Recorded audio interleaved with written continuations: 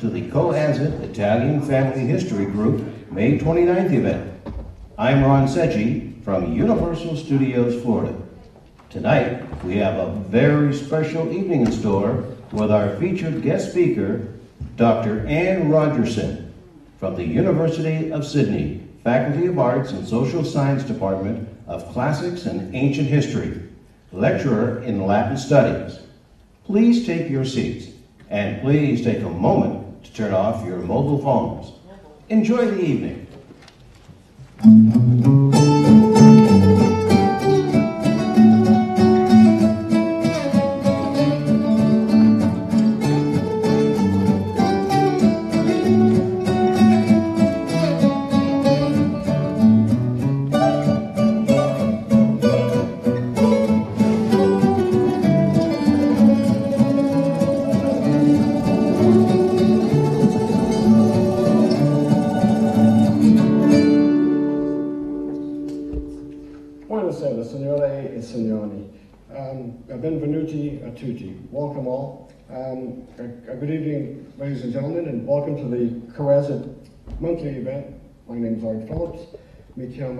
Arturo Italiano.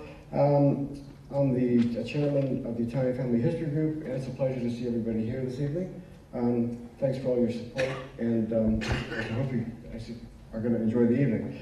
Um, for those of you that aren't actually familiar with the group, um, uh, the mission for the group really is, um, is to promote and develop and, and assist those interested in tracing their uh, family history um, and recording their ancestral details. And, and generally, the idea for the group is to also sort of help promote the passion of Italian culture. Um, we have this new venue. We started using this venue in February this year. Um, I'm quite happy with the performance hall because it actually sort of allows us to do a different type of production than the group has in the past. Um, so anyway, so welcome to the, the evening. This year, um, in 2014, we have a really, really good lineup um, of uh, some of the events coming up. Uh, we won't actually be holding one in June this year because, because we have a featured guest speaker in July. So we're taking a break in June and, and we'll be back in July. And um, so the lineup is looking pretty good. Uh, for July, we have uh, Antonio Zeccola from Palace Cinemas, who's coming to speak. That's on the 23rd of July. August, we have an author named Gabriella Della Vedova Conti, who's talking about a book that she, she wrote on the wings of the rainbow. It's really quite interesting. September, we have um, uh, Frank, Frank Caruso, who um, is the uh, uh, sort of natural health guru. So it should be a fun talk. Joe Abati we have uh, in October, which should even be a you know a heck of a lot of fun. I think he's a he's a wonderful entertainer. We just saw him last week, and uh, he's he's very much looking forward to the, the event in October. And in November, we have a gentleman that's coming who has done a lot of research on um, migrants from Sicilia, from Sicily, uh, in the 50s and 60s, and he's actually done a lot of research on the music that those migrants brought to Australia and a lot of the other um, sort of artifacts and, and you know, family stories. And he's going to show some rare documentaries, so I think it could be uh, a very interesting event. Next year, we've already lined up a couple really interesting speakers. In February, I have um, the president of New Italy uh, from the Lismore area. That's, that's actually coming to be one of our guest speakers, so that'll be fun and um, also just secured the editor-in-chief of a, of a magazine called Italianicious, which is uh, actually published uh, by a company called Prime Media in Melbourne. So she's coming to speak. And I'm sure we'll fill the other months up as we get closer to the time. But anyway, so it's starting to uh, sort of fill up. Um, we uh, actually have a really interesting uh, guest speaker tonight, as you're aware, because you got the flyer, Dr. Anne Rogerson that's sitting over here, who is um, the Charles Tesoriero, uh, lecturer in, in, Latin at the University of Sydney. So uh, very, very much looking forward to her talk. She's going to be talking about, um, um, uh, well, basically the eruption of Mount Vesuvius in Pompeii in 79 AD, and um, uh, the eyewitness accounts and stories by um, a gentleman named Pliny. Is that right? Yeah. So, yeah, I'm looking forward to uh, the talk. So I'll, I'll get through this so we can actually get to the real nuts and bolts of the, of the evening. Um, this year we actually made a few new changes. We have a new uh, policy government uh, a governance document uh, that's almost in place with COASIT, um, which is just going to help you know formulate the group a lot better. And uh, we're going to actually uh, sort of initiate a new concept, which is a membership fee as of July this year, which will just be five dollars a year for everybody um, that actually wants to become a member, just to help support the group. Um, and we have to do it this way because of the type of, of uh, sort of policy document that we're actually doing with COASIT. So it just makes it a bit more official. Of course, people don't have to become a member to actually come to these events, but but if you become a member for the five dollars a year, what happens? You come to the AGM and you have full voting rights. So it's just one of those sort of membership situations. So anybody that's interested, um, if, if you're on our database, you'll be receiving this information probably around the, the third week of, of June. So uh, we encourage membership for, for a few reasons, just to help support the group. So, so thank you. Yeah. Um, also this year, our secretary and treasurer, Maria Linders, that's sitting here in the front, um, actually is just starting a whole new situation that um, about six times a year, seven times a year, she's holding um, these special uh, small group sessions on a Saturday afternoon, about one o'clock. And the first one that she's holding is actually this Saturday here at the Forum. And um, she's going to be helping people with um, certain websites that one can go to to actually um, trace their, their roots sort of more effectively and sort of how to document your family tree, which is really, really important for a lot of reasons. One, one reason is because when we're gone, of course, it's, it's absolutely it's absolutely crucial. It's probably my phone, No, it's not. But actually, I didn't turn my phone off, so I'll turn it off. It wasn't mine, no problem. Um, but it's very important to actually document your family history because because when we go, you know, I mean, our children won't know what's happening. So so that's what the group's all about. We certainly encourage that, and um, we want to try and help people with, with that way forward. So that's what uh, Maria's going to be doing on the on the Saturday afternoons. And there's an event this Saturday at one o'clock. So at the end of the session, anybody that's interested, please just, just come and see Maria. Who's sitting in the front row? She'll be wandering around, and uh, put your name down. We're actually very, very uh, um, flattered, I guess the word is, Maria, yeah, because um, we, I mean, our database has increased quite a bit, uh, I guess since December, January. You know, we, we're probably up to about six, 620 people on our database. Um, gosh, I hope we have that much in, in terms of membership. We'll, you know, we can buy this place.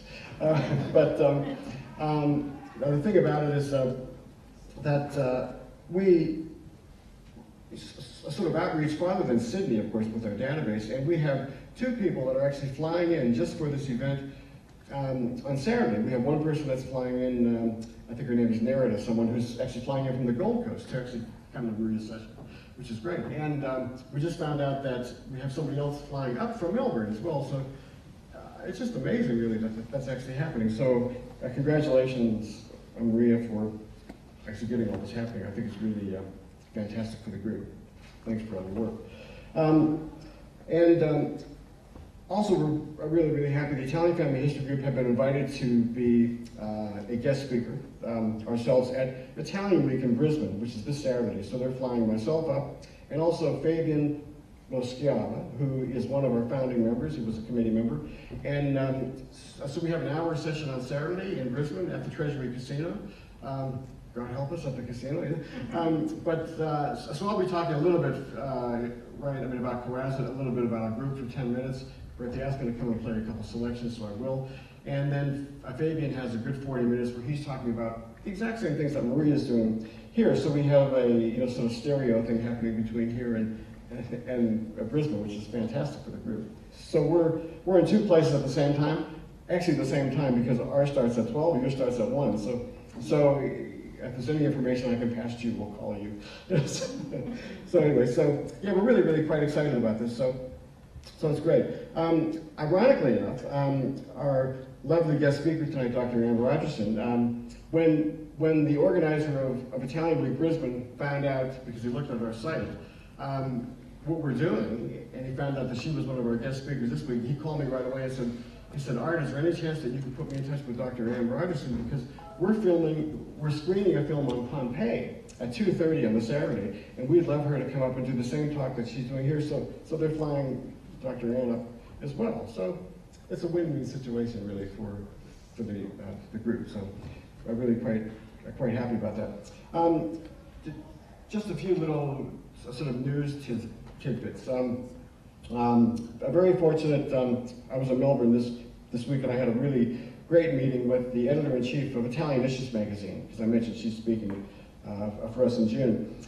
and she wants to do a feature article on the on the, on the Italian Family History Group in their uh, March April edition, where she's going to do a, a full page about the history of the group, what we've done, what we're doing, and the main thing that actually interests this magazine is that um, they actually talk about a lot of culture. Most of it's food, music, film. They've never done anything on on how to trace your heritage, uh, your family history. So they're really, really rapt about what we're doing because they want to actually get as much information that we can help them with, so they can put some some information, some websites in the article um, to help people do that. So this could increase our membership as well, I hope, and I think it's just a good profile overall. So.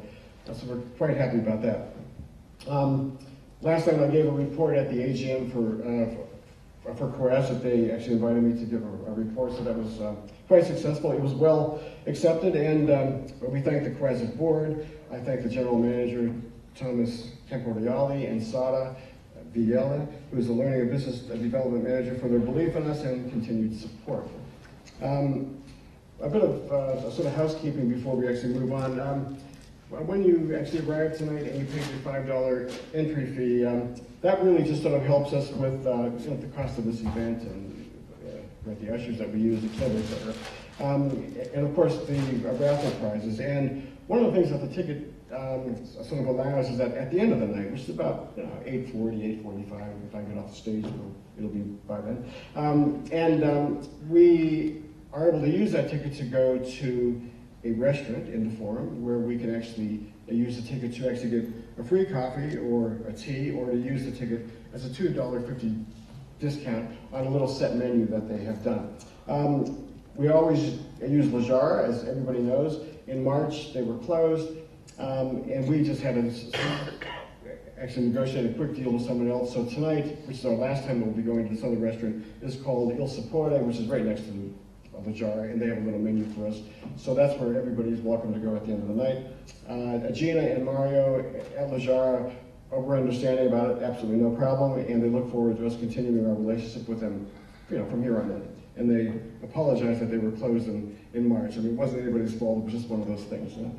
So anyway, so tonight I hope we can see everybody at Il Sapore. It'll be great. Um, uh, one of the things that I do um, because I want to try and put a little bit of Italian culture and passion, you know, sort of into the night. Besides our guest speakers, is um, I always try and choose one one traditional Italian song, which, I'll, I'll play tonight. And I thought I would play a selection called um, Arrivederci Roma, which um, which means goodbye Rome. And it's a really lovely piece. Uh, I'm, I'm sure you've all heard it. It was written in 1955, part of a soundtrack of an Italian American musical um, of the same title, but it was released in, in the English countries as um, uh, The Seven Hills of, of Rome. And it starred a, uh, a young actor and, and singer named Mario Lanza. So that was a big hit by you know, Mario. And the thing that I actually love about the song is that um, you've all been to Rome, I'm sure, and every time you leave Rome, you actually have that feeling, that, you know, that of sad feeling that, that you're leaving such a lovely, lovely place. And I think um, that my grandparents in particular, and, and also your grandparents, uh, when they left Italy in the, in the 50s or the early 1900s, like my grandparents did, I think that they went through a lot of these feelings that this a piece of music actually sort of evokes, you know? Because it's sort of a heart-tugging and sort of a happy, sad um, piece. So, anyway, I just thought I would play one selection for you. Arrivederci Roma.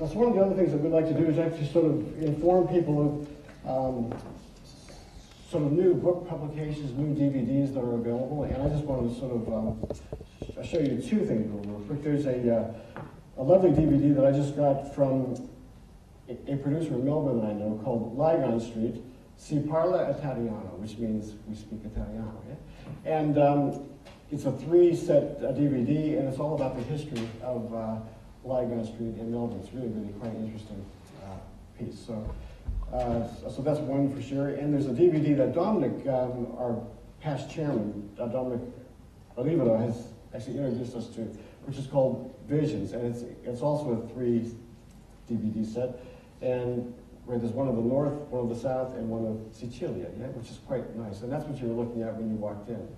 Um, and uh, one of our guest speakers that we have coming up in August uh, actually authored this book called Sulle ali del arcobaleno, which means on the wings of the rainbow. It's a really a beautiful book. It's uh, sort of her family story uh, and about the struggles that she went through and how her great great grandfather lost their home in Italy and um, uh, the next generation actually accidentally bought the same house without knowing it. So it, you know, it came full, full circle. So she's coming to speak for us uh, then. And the magazine that I was talking about, uh, where Daniela Galucci is the um, editor-in-chief that's coming to speak for us, that's, that's doing the article, is called Italianicious. And it's really, really fantastic because there's all these lovely uh, recipes and stories about Italians in there.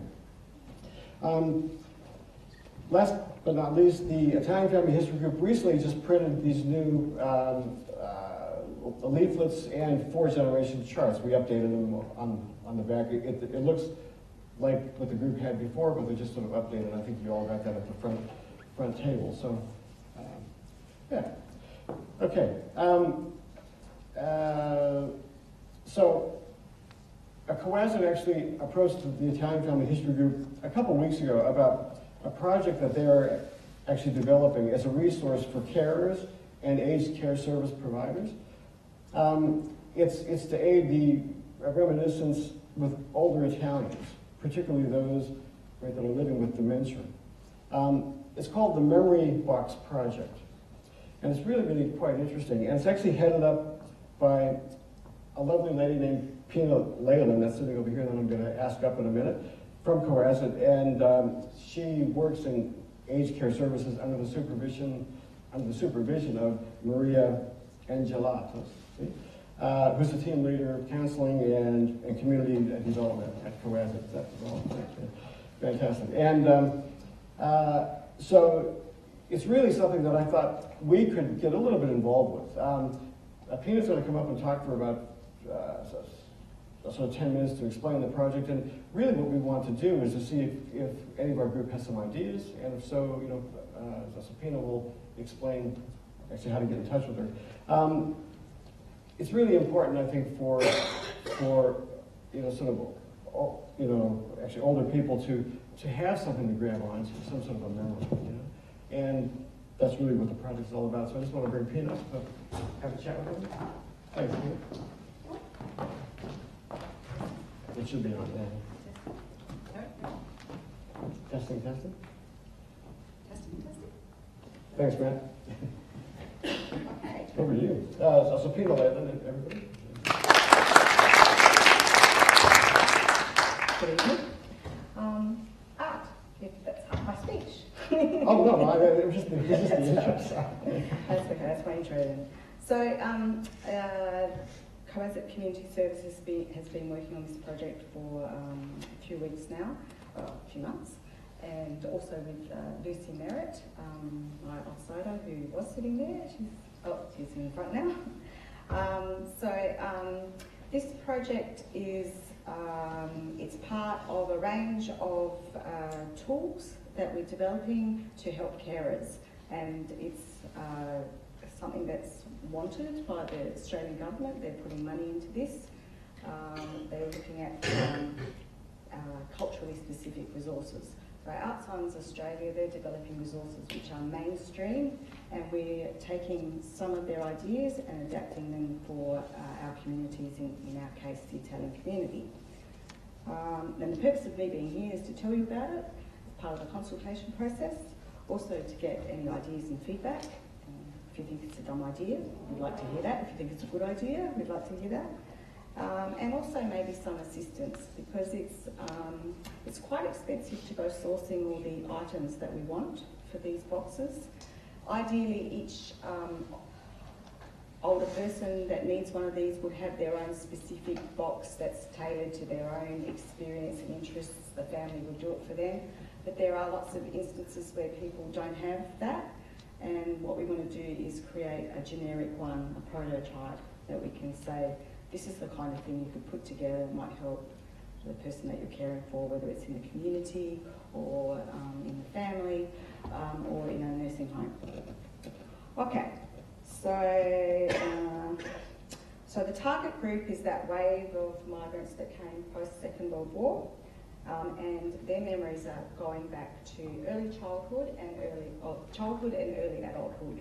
So we're looking at resources that fit with the 1940s to 1960s.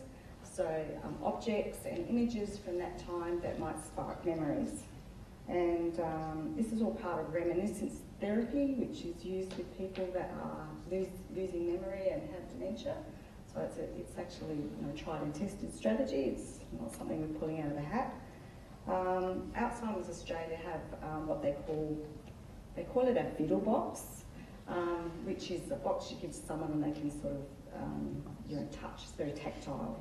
Uh, we found it was um, a little bit um, geared to females because it had fabric and cottons and wool and knitting needles, things like that in it, and we have those too. Um, but we thought maybe there needed to be some more male oriented, or ma- male, um, what do you call it? Male specific, that's the word.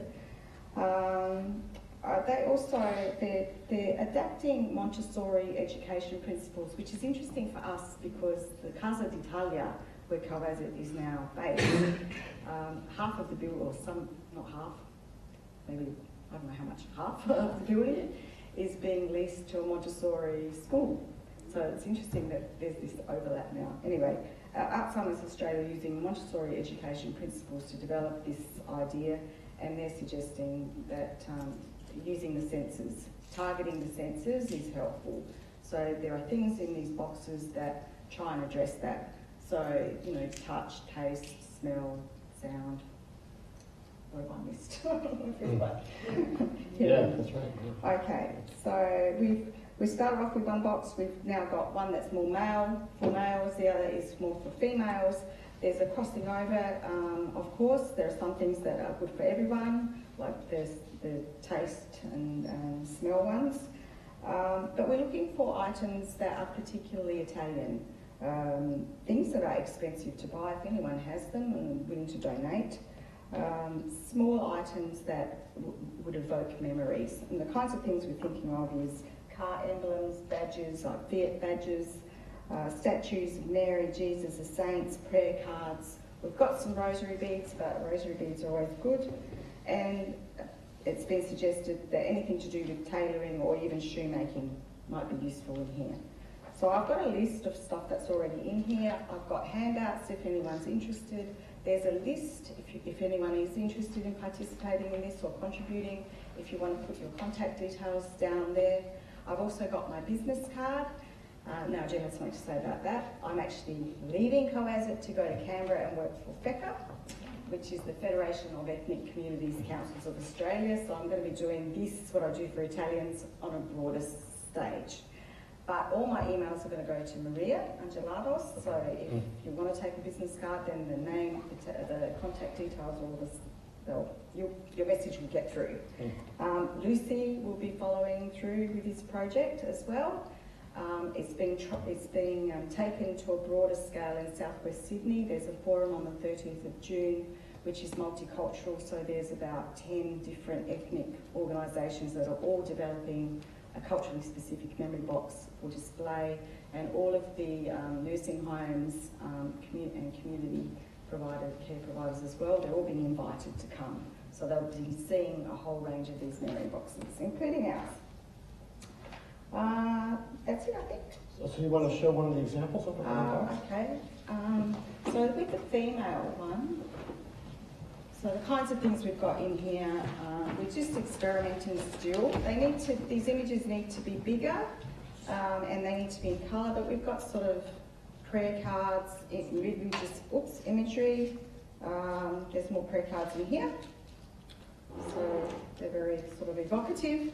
Um, bits of lace, crochet. We've got some images of food that you know we can use as a basis for asking questions and discussing. Like, do you like this? Do you like that? And do you remember cooking this? Blah blah blah.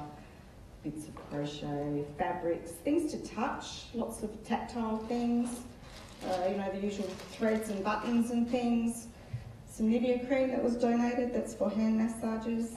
Um, and you know, people have been giving what they can. Someone suggested hair hair curlers. Someone else gave a little brooch. There's different things in there. So it's just a starting a starting um, exercise.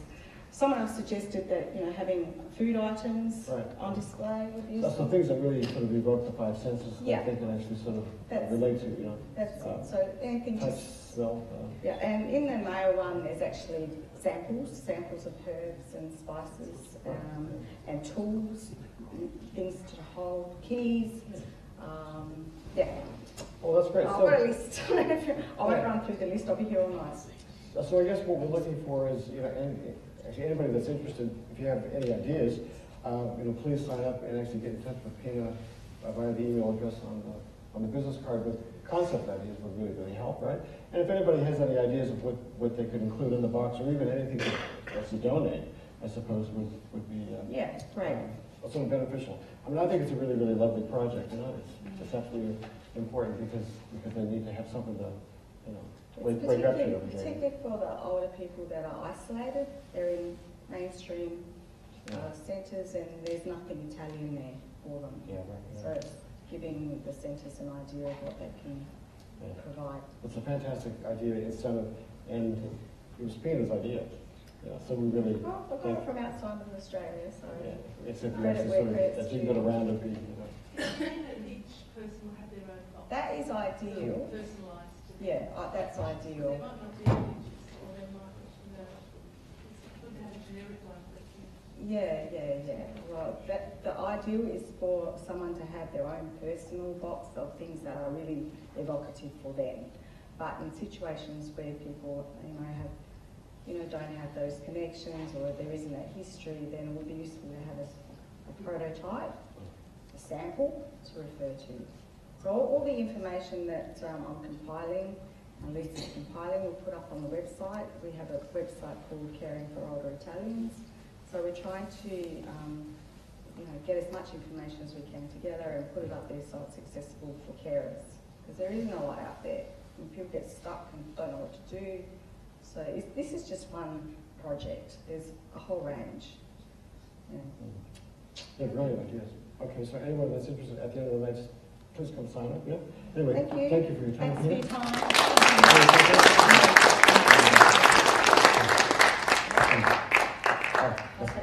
Uh, yeah, sure, yeah, if you want.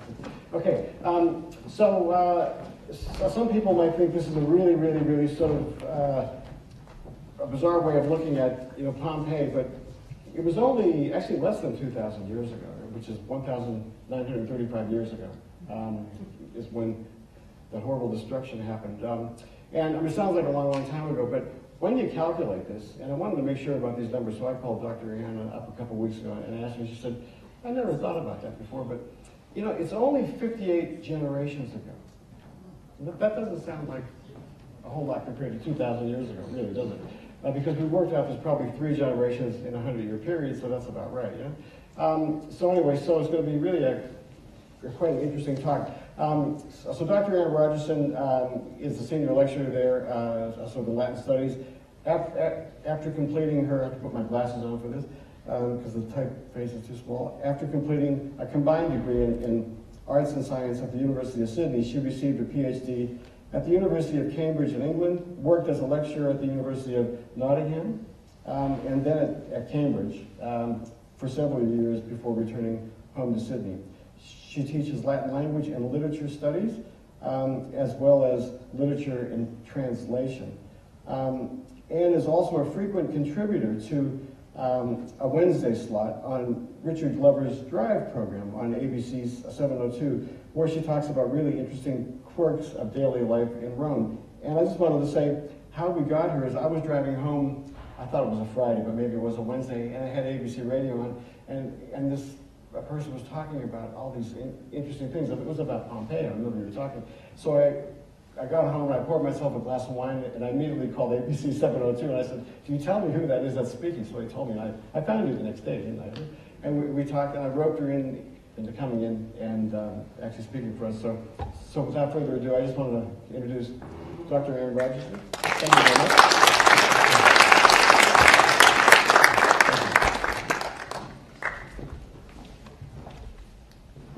Can we make the screen? Ah. Oh, there we go. You got the? Great, thank you.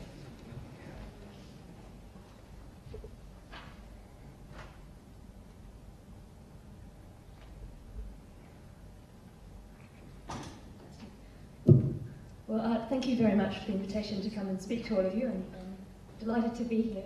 And um, as I said, I want to talk about um, the destruction of Pompeii in 79 AD and some of the uh, personal stories that we have um, from that time. So the last days of Pompeii are a source of unending fascination. Um, indeed, so is Pompeii itself, right? The small city near Naples at the foot of Mount Vesuvius that was covered in ash and pumice during the eruption of 79 AD, um, preserving it for nearly 2,000 years, or if you were thinking generations, um, 58 was it, um, until it was rediscovered um, in the 18th century. And now Pompeii itself is a tourist destination, um, and exhibitions of the objects and the bodies that were found there to the world. Um, historians, archaeologists, anthropologists um, study all that material, and there are also countless novels um, and movies set against the dramatic backdrop of the volcano. And my interest today is not in the material remains, but what the Romans themselves, in the first century AD, actually said about the disaster. And these are stories that give us an important insight into the culture and the beliefs of the peoples of Italy in the glory days of the Roman Empire. Um, well, they give us insight into the beliefs of some of those people anyway, um, because the wealthy and the educated um, are really the class that we that we know the most about, um, because they're the ones who wrote all the books. Okay, so stories about how people react in a crisis. These are stories about ideals and about values, and there's a lot to be learned from them about what a community thinks is important in the ways that it represents human responses to disaster. So we're going to go back in time to Pompeii. The year is 79 AD.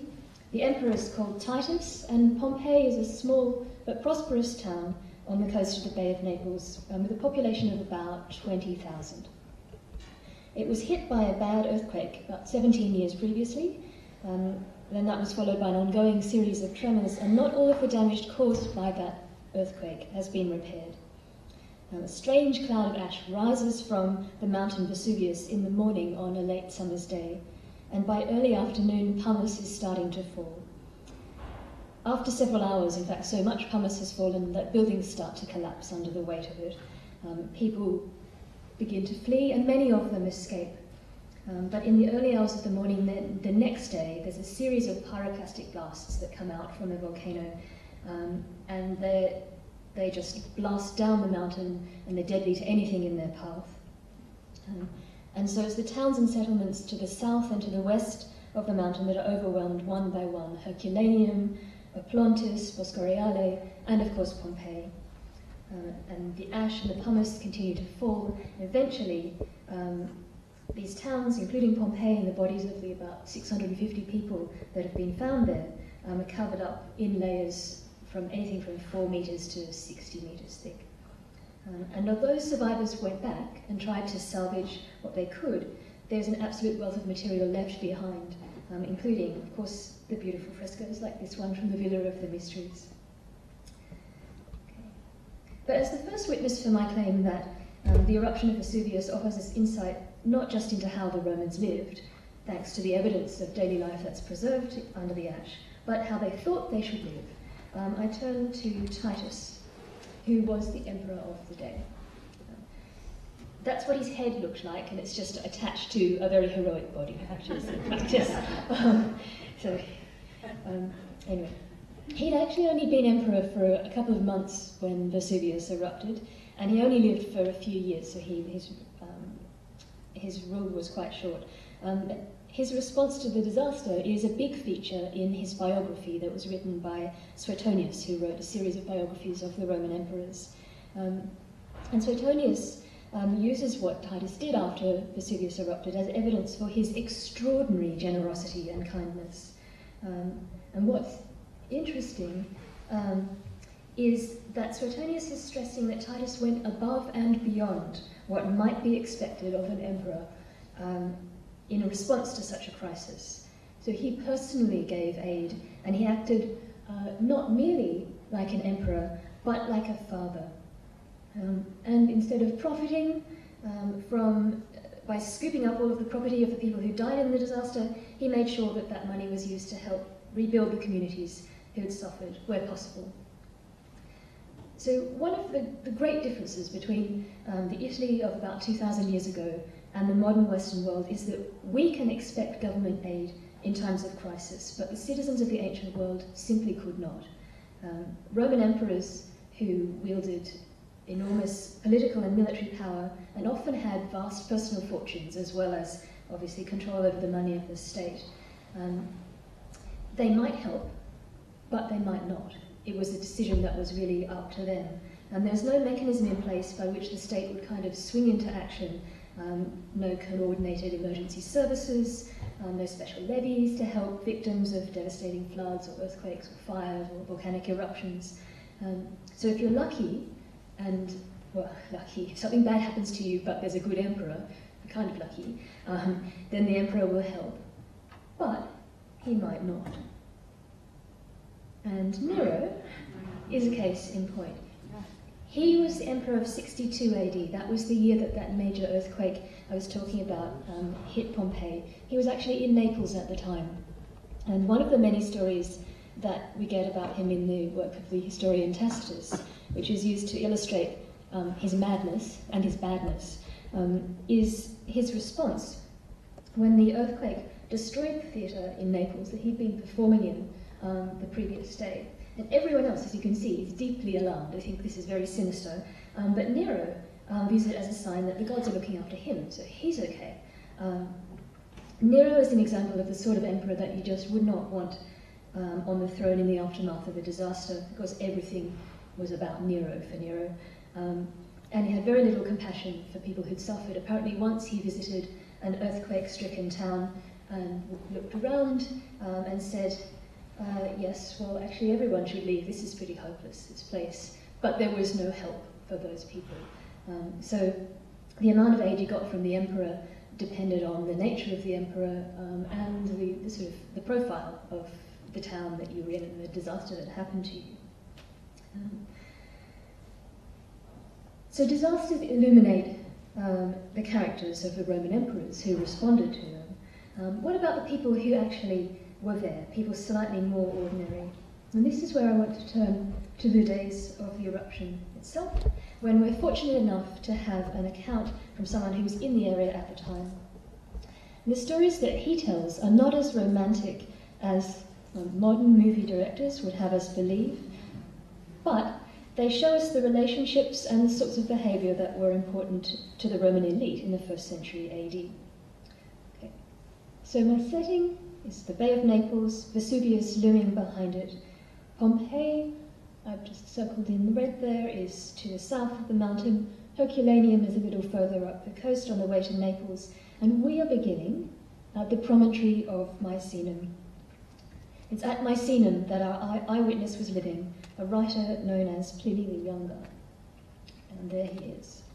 Pliny was in his teens at the time, and he was staying with his mother and his uncle who is also called Pliny and is known therefore as Pliny the Elder. Um, and the actual account comes from, was written several years later, um, where the now adult Pliny the Younger is writing a letter, this is le letter 16 in book 6, um, to his friend Tacitus, the historian. And it's the first of two letters from Pliny to Tacitus about the eruption. Both of them are published in Book Six of the collected correspondence. Um, it's important, in fact, to bear in mind that um, this is correspondence that not only was published but was written with an eye to publication.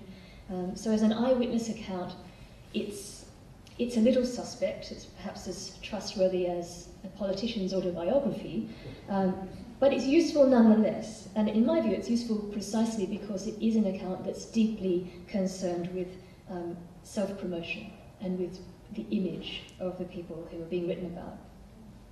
Okay, so as Pliny explains, his family are there at Misenum because his uncle, Pliny the Elder, was there on an official post. He was the commander of the fleet that was based at Misenum, um, and on the 24th of August, in the afternoon, Pliny's mother pointed out that there's a strange cloud rising in the distance. The elder Pliny's initial response is to investigate. He calls for his shoes, he climbs up to where he can get the best view of this funny cloud. Um, what we see here is the start of a sustained representation of Pliny the Elder as a scientist. Um, and in fact, that's his main claim to fame. Um, he's the author of a monumental uh, 37 book encyclopedia of natural history, um, so ancient facts and theories about animals, vegetables, minerals, natural phenomena. Um, and so, as the author of this work, um, sensing there's a new mystery about the natural world to be unravelled, that Pliny the Elder responds to the strange phenomenon in the sky. Um, and as um, the younger Pliny says, the sight of it made the science, scientist in him determined to see it um, closer at hand.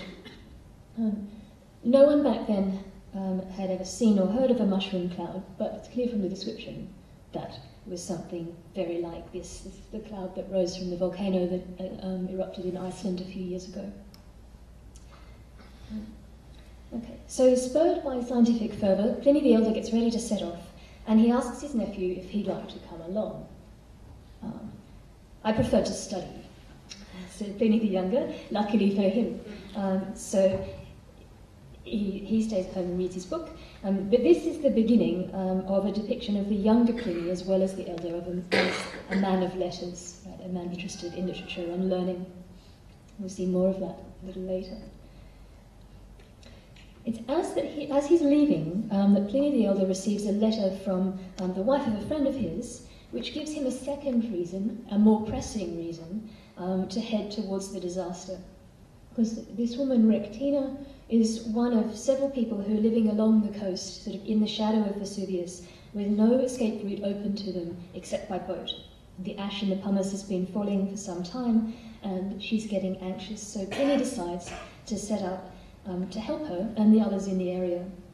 And that means that the expedition that began as a quest for knowledge now calls for courage. And the scientist displays his valour, and it's valour that will, as we'll see, um, takes a very particular and a very Roman form. So he launches his quadriremes, those are quadriremes, um, and he sets off. Remember, this is a man who's the commander of the fleet. Uh, so when he responds, he uses those the resources that are available to him, but he's not responding in his capacity as commander. He's responding as a private citizen um, and a friend.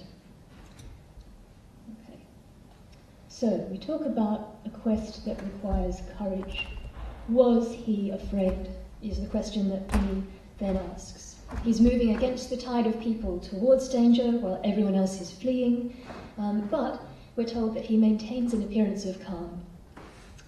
Um, indeed, he keeps up his scientific observation, dictating notes to a secretary even as they are sailing down the coast towards the volcano that is belching this evil cloud of smoke.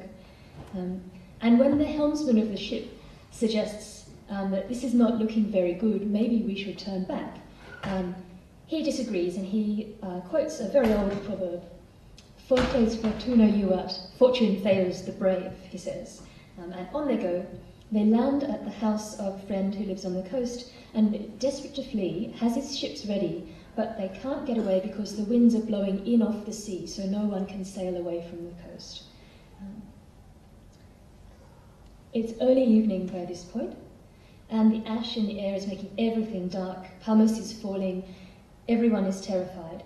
except Pliny the Elder, um, who puts on an ostentatious show of unconcern. So he takes a bath, um, and he thinks that if he has a bath, everyone else will feel better.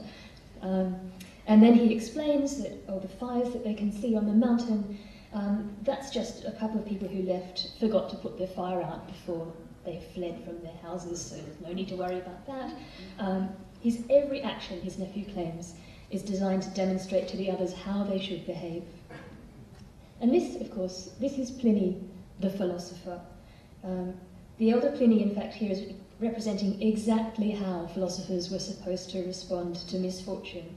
The ideal philosopher in the ancient world um, is the ideal of the philosopher in the ancient world is just not to get upset. So you don't let a little thing like a volcano bother you. You keep your cool, um, or at least the appearance of it. And uh, for Romans, uh, philosophical Romans, um, being seen to be philosophical and calm is, is almost as important as being philosophical and calm. So he goes to bed and is either really sleeping or pretending to sleep and snoring so everyone thinks he's asleep. Um, his nephew is impressed by this, and readers of the letter are supposed to be impressed as well. Fortitude and self control in the face of danger, and even death, was valued very, very highly by the Romans. Eventually, though, um, the ash and the pumice is continuing to fall. It's piled up so high outside that they have to make a decision. If they don't leave now, then they won't be able to get away. Um, but again, the way that, that Pliny tells about how the decision was taken is used to demonstrate his uncle's philosophical nature. Um, so staying is dangerous because um, people's houses are starting to collapse under the weight of the pumice. Going is dangerous, um, partly because rocks are falling from the sky. But then Pliny the Younger said, but, the rocks were only pumice, and pumice is light and it's hollow and it's relatively harmless, and Pliny the Elder, his uncle, remember the author of the natural histories, knows all about pumice, so he knows it's safer to go than stay. Um, so the decision is taken to leave, um, but it's a rational decision only on the part of Pliny the Elder. Um, everyone else is just um, scared to stay, scared to go as well, but more scared to stay than to go. Anyway, they tie pillows on their heads and they set off down to the shore, to the beach, to see if the winds have shifted, and they haven't. It's here that the end comes for Pliny the Elder. And he's resting um, when the sulphur and the flames reach them. But even now, he shows his difference to the common herd.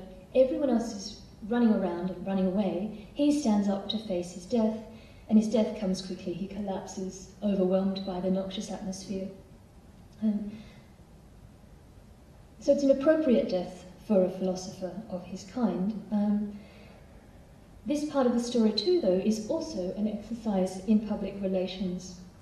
Now, we've seen how Pliny represents his uncle as an ideal sage, you know, philosophically facing a terrifying event.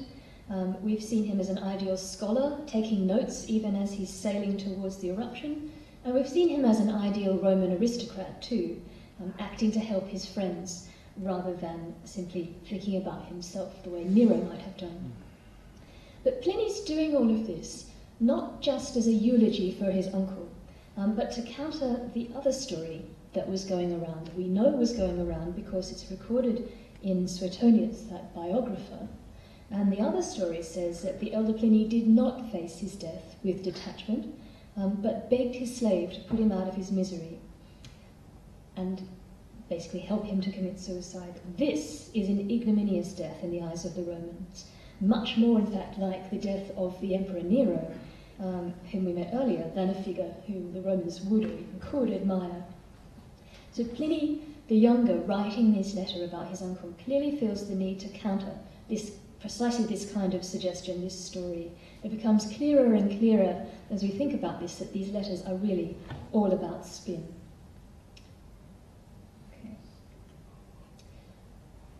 Now, I turn now, um, this is the last section of the talk, to Pliny's second letter to Tacitus, where he tells us what happened to him and to his mother who'd been left back at Misenum. And here too, we can very clearly see Pliny shaping his own image, um, interestingly in a slightly different way to how he presented his supremely philosophical uncle. The model here is not so much a, a stoic sage, but another kind of culture hero. And our first clue as to the model that Pliny the Younger is setting up for himself comes at the beginning of the letter with a quote from the great epic poet Virgil. Um, the mind shudders to remember, but here is the story of what happened. Now, this is what the Trojan hero Aeneas says um, as he begins the story of his escape from the city of Troy after it has been captured by the Greeks. And Aeneas, the, the legendary founder of the Roman race, um, the hero of, of Virgil's great epic, is a very important model for the younger Pliny in this second letter. So, unlike um, his uncle, who manages to sleep, um, he passes a disturbed night, largely because his mother um, is upset by the fact that there are continual earth tremors and the pumice falling from the sky, um, and she wakes him up. So they sit up together most of the night. Um, he tries to maintain an appearance of calm. So, oh, I don't know what's happened there. Anyway, he sends for a volume of Livy, um, Livy's history, and he sits there reading and taking notes all night, obviously in emulation of his uncle's scholarly calm, though it's also clear um, that the young man is not really as in control as he might like to appear.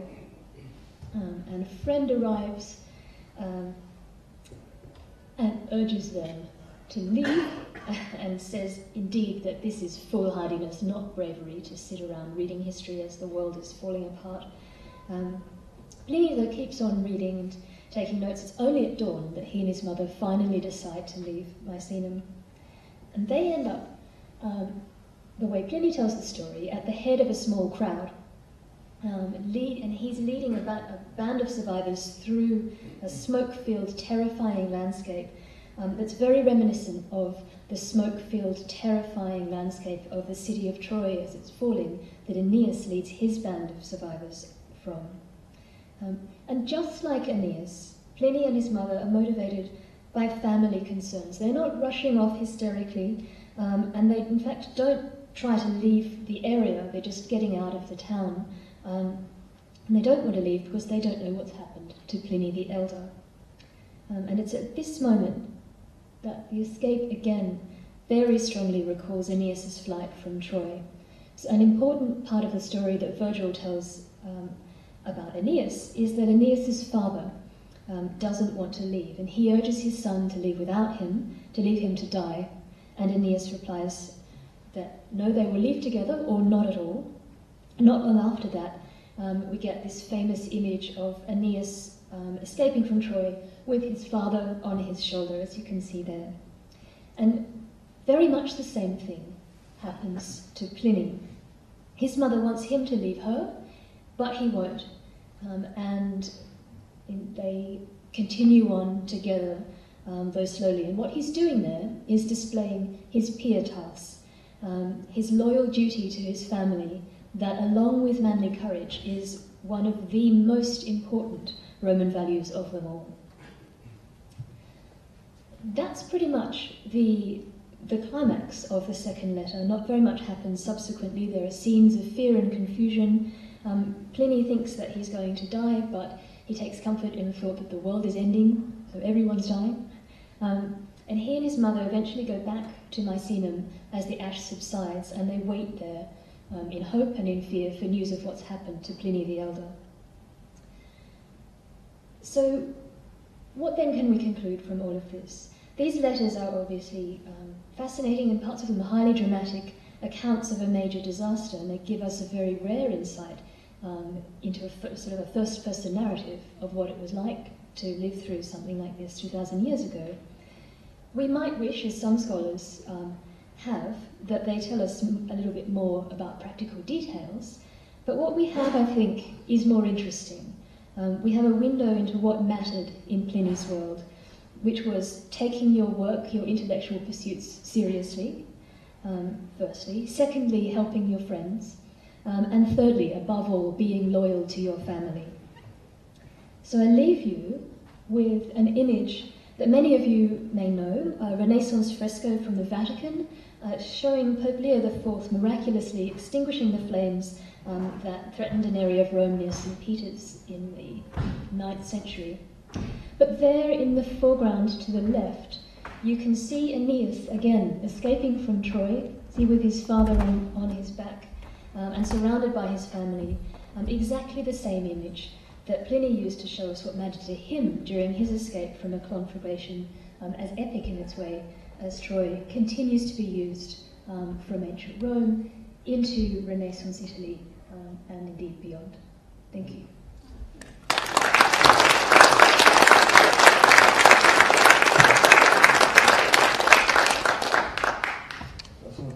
Thank you very much, Dr. Rogerson. Just um, a really, really interesting. I'm going to pass uh, the mic around for some uh, some questions for 10 minutes, if, that's all right. I think there'll be probably a few questions, but um, if it's okay, I'm going to ask you one or two real quick, and then, then I'll pass it Sure. Um, so, very interesting. I mean, why did it take so long for them to uncover the the actual ruins of Pompeii? Do you know why? You know, hundreds and hundreds and hundreds of years. well, yeah, I mean, well over a thousand years. Um, it wasn't until 1748 that the um, excavation started seriously. Sorry, yeah. Um, there, there was some digging before that. Was um, there? Are, there are early, much earlier tunnels that seem to have been dug by people who survived going back to try and get stuff out. Right. Um, but then you've got to remember this landscape. Everything's covered by ash and pumice for miles and miles and miles. It must have been just like devastated.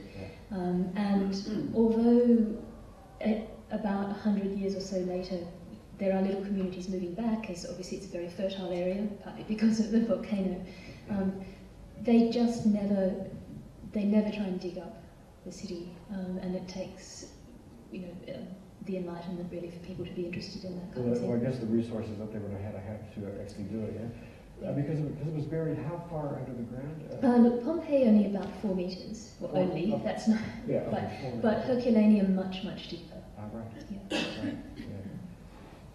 It's ama- and people still live there, it's amazing. Yeah.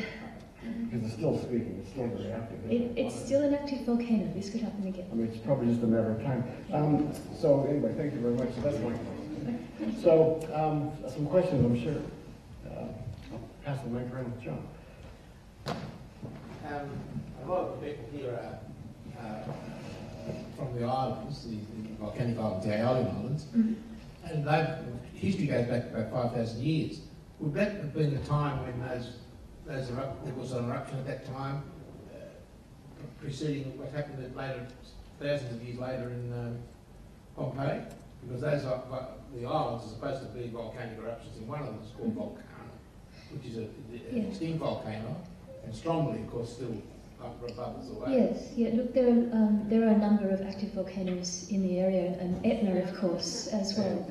Um, and there, there's, in fact, there's, um, there's a, an epic poem written about Etna um, a- about 50 years after Vesuvius erupts, and it, uh, and it's sort of, it's a, it's a very strange poem, and it sort of has some theories about what, what actually causes volcanic eruptions, and then it has a story about what people did when Etna erupted one time in, around about this period as well. I have a question. This eruption that took place, to what extent did it extend from the actual volcano in miles away from the actual crater? Can you give me any idea as to how Um, much of the okay. area was devastated? Let me go back to the map. Get back to it. Where is it?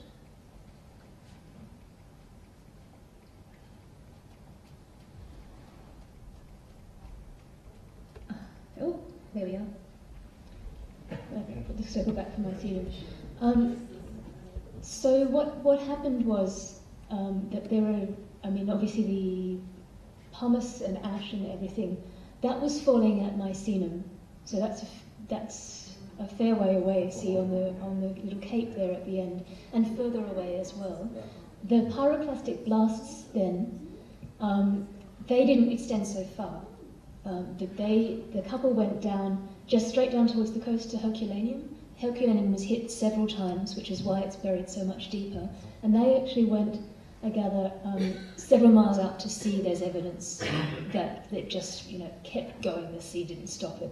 Um, and then the second lot of pyroclastic blasts kind of came this way down to Pompeii. So I, I'm very bad at sort of distances and geography. I can't tell you in, kind of in, in kilometres or miles, but you can you can sort of see the extent of it um, from there. But it all it all came this way. I asked the question because of the fact that my grandfather was born in a little town called San Giuseppe Vesuviana, Uh-huh. which is in very close proximity to Vesuvius, but I just don't know exactly how far away it is from Vesuvius. Have you heard of that town before? Um, I haven't, I'm afraid. I mostly know the names of the Roman towns and not the Italian ones.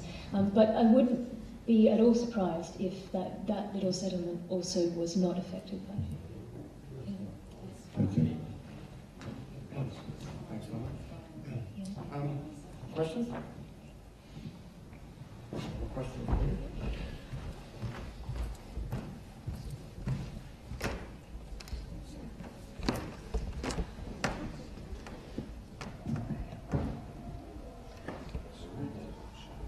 When you said that, um, some people escaped the city of Pompeii, Mhm. where did they go?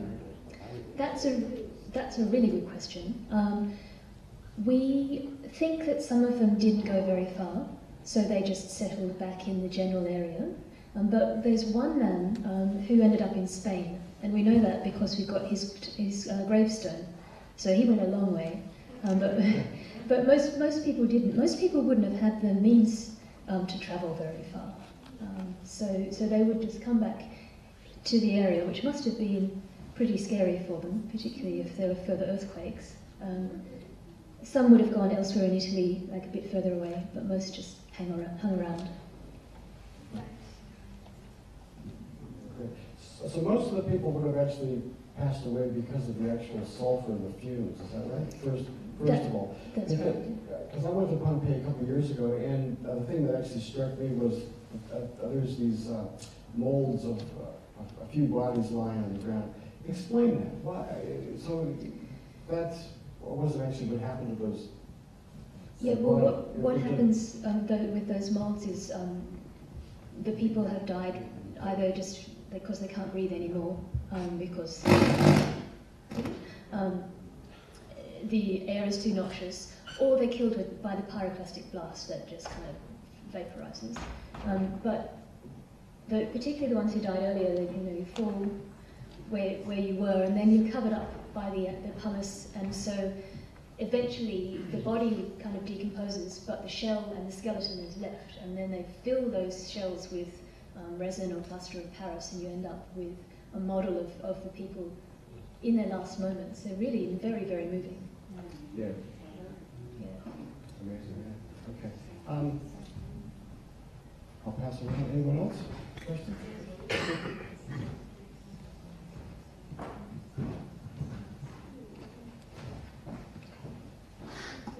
I'm really interested in the uh, idea or or the custom of family duty, which you mentioned.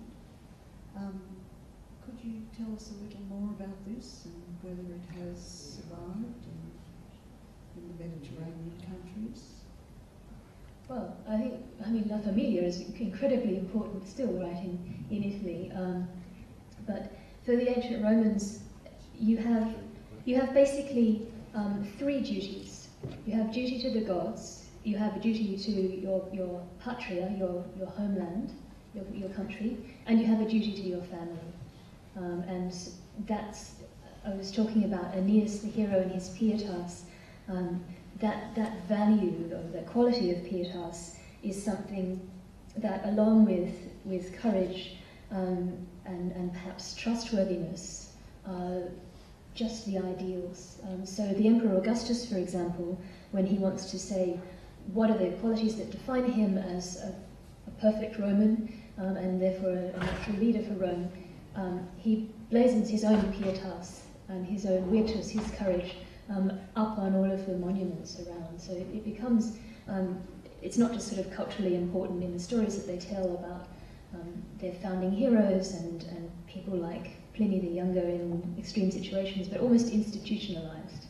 Um, and then, and then of course, it, it evolves, I guess. The word then is where we get piety from, um, but that, in modern sense, is much more your duty towards God than anything else. So how many people were actually lost in that eruption? They've found about 650 bodies, um, but Between Pompeii in, and, just in. Pompeii, in, Her- in Herculaneum, they recently found, um, I think, about 130 down in um, in rooms sort of underground uh, near the near the harbour. They think we're, we're waiting for a boat. They were ho- everyone was hoping that the wind would change so they could sail off the coast, and it didn't. Um, so they found a couple of hundred there. um, John, question? Tom. Uh, could you indicate on that map where Sorrento is? It's not shown, is it? I've got a feeling it's in the Bay of Naples somewhere. Who knows where Sorrento is? I know a place called Massa Lubrense is on the tip towards Capri. Mm-hmm. Massa Lubrense is on that toe section, and I think Sorrento's in the bay somewhere there. Right. Yeah. Uh, I've travelled from Naples to Sorrento some years ago. It's a privately run railway system. And uh, I recall going through that Herculaneum. I recall going through there. And uh, of course, I was in a strange area. I wasn't exactly sure where I was, but Sorrento was down the bottom there. And I stayed there for a little while and went over to Capri. Where a lot of people get a boat that goes across to Capri to see the famous uh, The, the grotto. the grotto and so forth. That's it. John. That Virgil and Aeneas, is that the stuff that we used to learn in high school? Aeneid 3 and 4 and all that? Absolutely. Yeah, that's the one. Oh, geez, if I'd realised at the time, I would be paying Wilson Price on the back row. Oh. Can you tell us when Pompeii was started? When was it set? Yeah. They think about 600 years BC. So it had been in existence for about 700 years when the eruption happened. Yeah. Um, and it had been, obviously, it started, started off fairly small and it had been growing. It was quite prosperous, they, they think, in the first century AD. Um, although there are some signs of um, neglect between, um, between 62 when that big earthquake happened and then the eruption in 79. It looks like some people got out after the earthquake. Was that the second biggest city in Rome, on the Roman Empire? No, no, no, not. There, there would have been much larger cities um, to kind of to the north and, and closer to Rome. I mean, Naples was bigger than Pompeii. What about Benevento? I don't know about the relative sizes of Benevento and, and Pompeii. Um, none of the cities were particularly big, apart It's from Rome. a huge Roman wall all Yeah. around and a big amphitheatre, Mhm. so it must have been a fairly significant city. Yeah, Pompeii has, um, I'm, I'm sure many of you have, been there. Um, it's got a lovely, you know, theatre and, and um, place for games and everything. It was, and they were, they were quite substantial. Ostia, um, you know, which is just at the mouth of the River Tiber down from Rome, it's got its own theatre too. So any, you're right, any, any town of significance would have a theatre. Um, I wonder what escape plans are in place today if Mount Vesuvius decides to Yeah. show their fury. I don't know, but I'm sure that they are. Um, I'd be keeping a very wary eye on in the clouds myself. Yeah. You'll be having a bath, I don't think. No, no, that's extraordinary. Right? Yeah. Okay, any, any other uh, questions? Okay, well, uh, thank you very much, Dr.